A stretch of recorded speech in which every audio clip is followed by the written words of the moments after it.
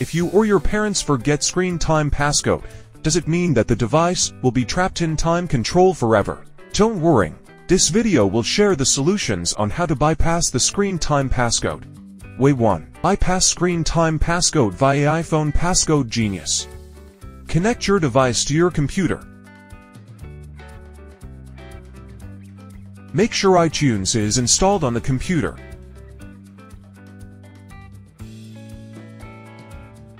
Go to Download and install iSunshare iPhone Passcode Genius on your PC.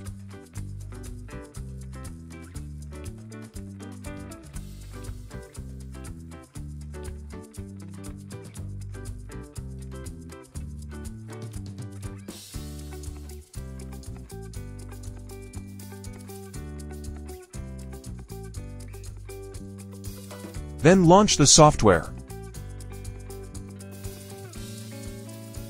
Select the Remove Screen Time Passcode option.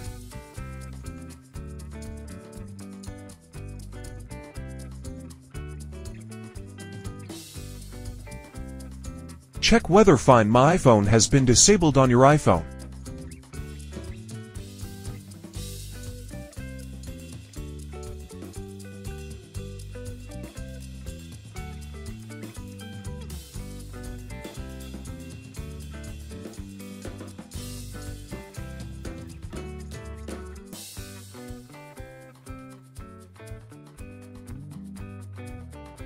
Click Start.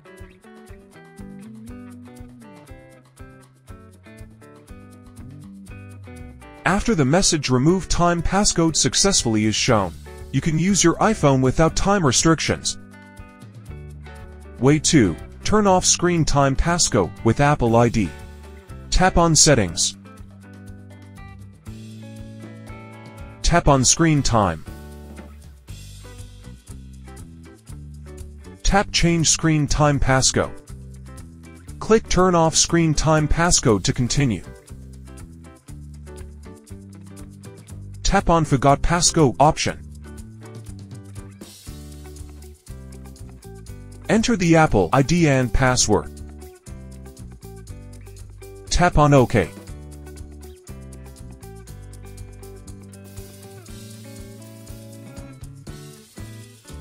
Way 3. How to remove screen time passcode via Restore device. Connect your device to your computer. Open iTunes.